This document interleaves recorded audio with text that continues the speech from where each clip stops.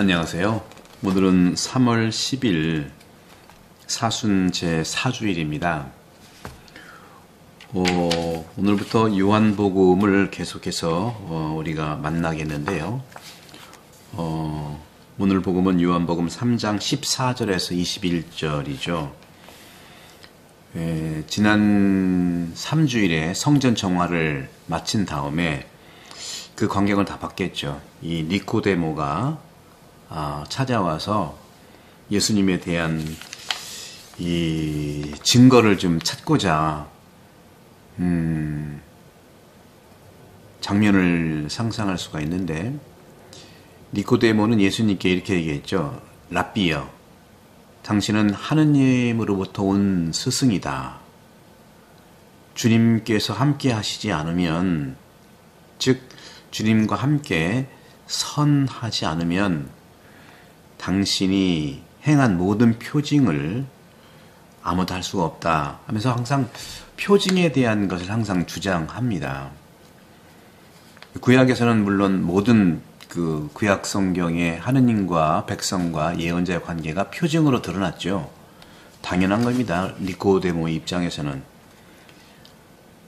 그런 것처럼 니코데모의 신앙은요, 예수님에게서 완전치 않은 것을 느꼈기 때문에 자꾸 증거를 대라는 거거든요. 그래서 예수님과의 대화에서 그 실마리를 풀고자 하는데 예수님은 그래서 니고데모에게 말씀하신 거죠. 니고데모는 율법학자이기 때문에 구약의 모든 음, 하느님의 이 표징과 또 율법과 말씀을 꿰뚫고 있는 정통 율법학자죠. 따라서 예수님의 대화에서 음, 예수님께서는 믿음의 여정에서 굉장히 중요한 식별에 대한 강력한 기준을 제공하고 있어요. 모세가 광야에서 뱀을 들어 올린 것처럼 사람의 아들도 들어 올려져야 한다 하고 잘합니다만은 이스라엘 백성들이 출애굽을 한 다음에 가나안 땅으로 가는 과정에서 광야에서 겪었던 모든 어려움 중에 불평불만하잖아요. 이스라엘 백성들이 하느님에게 또 모세에게 불평하면서 음식이 이게 뭐냐 물도 없다 또 차라리 종살이 하던 에집트가 낫지 않냐 그러는 거예요. 그러면서 어 이렇게 예수님이 예 어떤 표징으로 우리를 드러낼 것이냐 하는 또 그걸 기대하는 거예요. 그러자 예수님께서는 믿는 사람은 누구나 사람의 아들 안에서 자기 자신이죠. 영생을 얻게 하려는 것이다.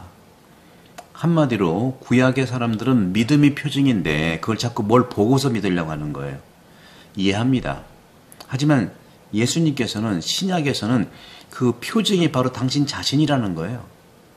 요한복음을 이해하는 열쇠는요, 모든 표징의 복음인데, 이 요한복음은 전부 표징으로 가득 차 있잖아요. 그 표징 중의 표징이 바로 십자가고요.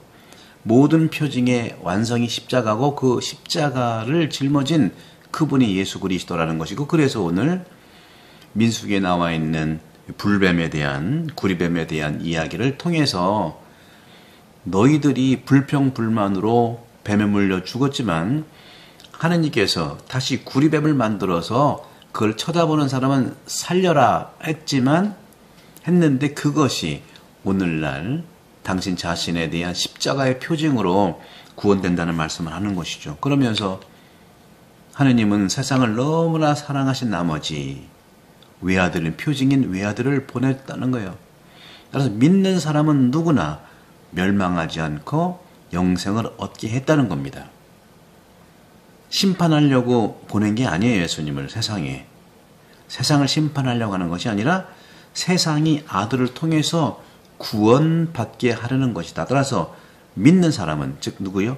예수님 십자가의 표징의 표징인 예수님을 믿는 사람은 심판받지 않고 하지만 믿지 않는 사람은 이미 심판받았다는 거죠. 하느님의 외아들의 이름을 믿지 않았기 때문이다.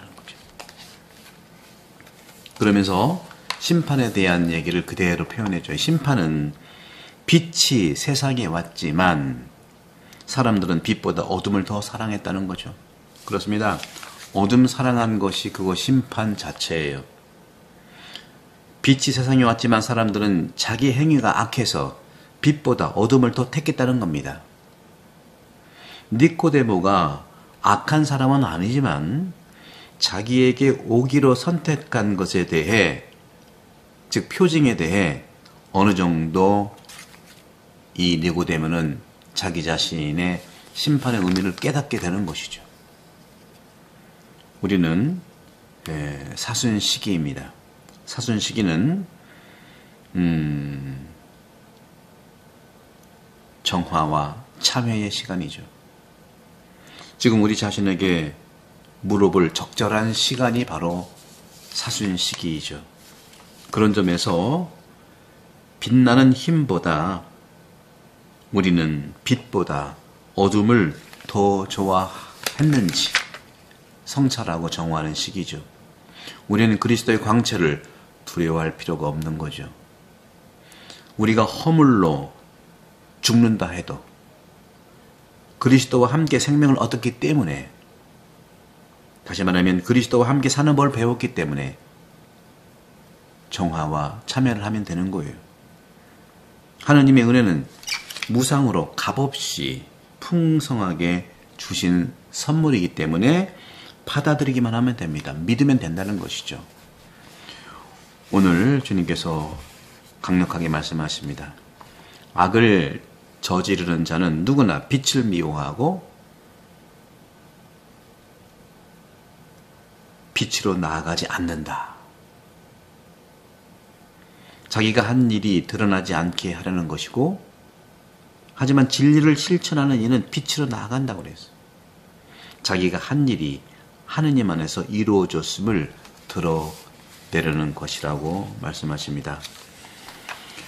오늘 어, 사순 시기에 제 4주일 계속해서 어, 주님께서 우리에게 주시는 이 희망의 메시지 믿음.